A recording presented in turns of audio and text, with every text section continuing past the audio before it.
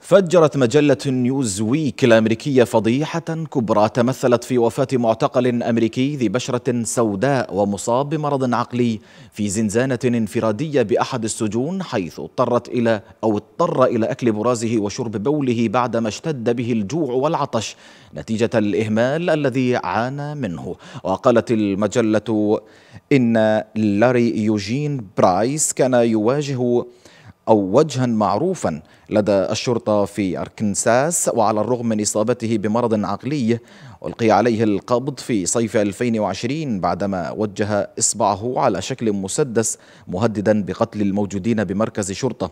ونقل بعد ذلك إلى مركز اعتقال إذ استحال على الشرطة تهدئته أو التحدث إليه بسبب مرضه وعدم قدرته على التمييز. وكان بإمكان لاري برايس نيل حريته مقابل دفع كفالة حددت 100 دولار لكنه بقي في السجن لأنه كان معدوما فضلا على أنه غير قادر على التمييز. وبعد ذلك بعام واحد فقد تؤكد نيوزويك أنه عثر عليه ميتا في زنزانته الانفرادية نحيلا عاريا وسط بركة من المياه الراكدة المتسخة.